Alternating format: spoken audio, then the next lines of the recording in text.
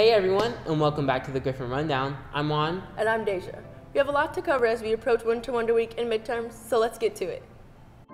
This week, SGA is hosting their annual Winter Wonder Week, which means there'll be tons of Christmas cheer in the air just in time for midterms. Starting off Monday is Holiday Hat Day, so make sure to wear any of your special headgear to school. SGA is also hosting winter games after school from 3.30 to 4.30. After that, Tuesday is Family Photo Day, so grab your crew and dress up in your best Or worst, family photo attire. Wednesday, prepare to dress up as your favorite holiday character in celebration of the season. Also, come back to school and watch the movie Elf at 6.30 in the Commons. Thursday is Ugly Sweater Day, so prepare to wear your most hideous sweater. The wackier, the better.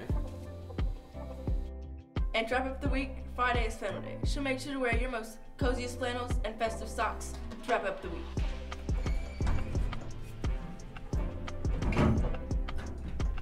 Gryphons, your books are still on sale for $70 and will rise to $80 very soon.